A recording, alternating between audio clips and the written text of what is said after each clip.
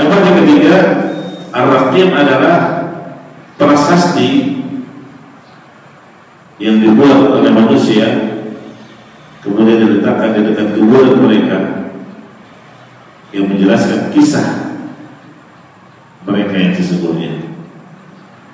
Nah, ini khilaf yang terjadi di tengah para ulama tentang makna ar-raqim dalam ayat ini hasibta anna ashabal kahfi wal raqim.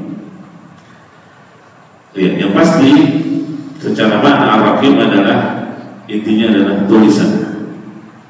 Ya. Ada juga yang berpendapat ar-raqim itu nama gunung. Nama gunung di mana gua itu berada.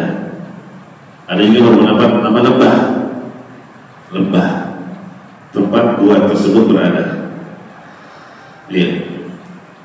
namun mana raqib yang lebih tepat adalah sesuai kepada maknanya yaitu satu catatan. Apa wujud catatannya Allah Taala? Wujud catatan tersebut apa Allah Taala? Karena tidak ada penjelasan tentang hal tersebut.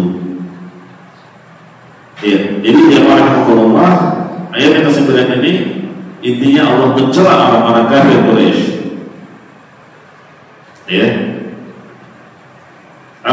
apa celahannya? Bukan hanya cerita Ashabul Kahfi yang menakjubkan, yang menunjukkan tanda kebesaran Allah, tapi banyak hal-hal yang menakjubkan lainnya. Ya, tapi kenapa kalian hanya percaya terhadap kisah Ashabul Kahfi, sedangkan hal-hal yang lebih menakjubkan lainnya sangat banyak. Begitu.